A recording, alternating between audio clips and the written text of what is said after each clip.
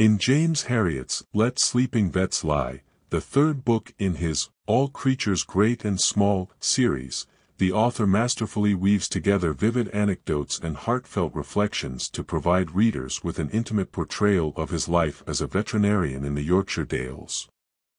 With a keen eye for detail and a charming narrative style, author invites readers into his world, showcasing the joys and challenges of working with animals while also exploring themes of compassion, resilience, and the interconnectedness of all living beings.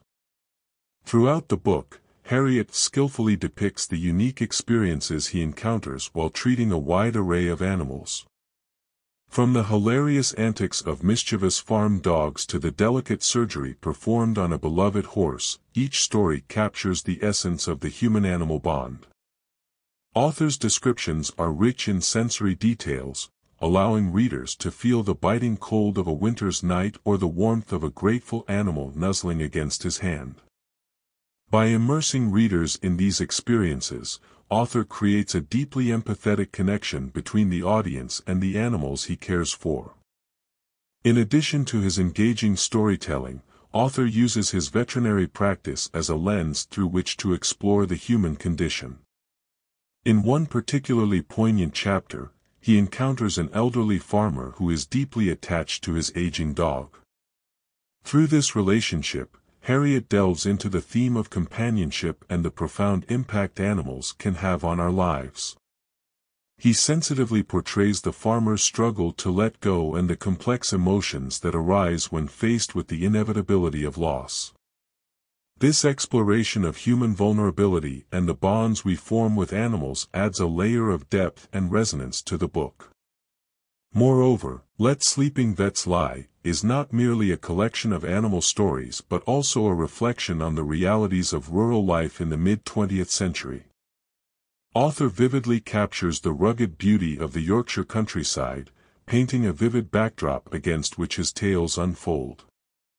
The harsh realities of farm work, the challenges of tight-knit communities, and the endurance required to thrive in such an environment are all skillfully portrayed.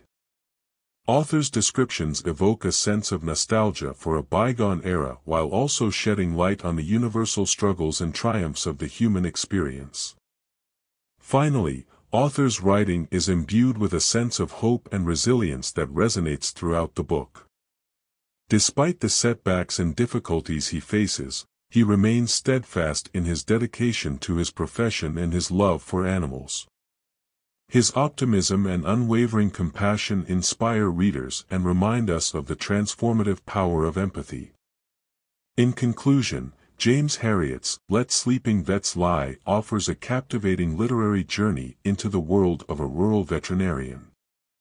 Through his engaging storytelling, author explores themes of compassion, resilience, and the profound connections between humans and animals.